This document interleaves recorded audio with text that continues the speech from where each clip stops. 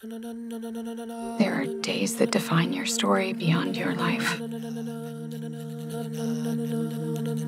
not American. Mm.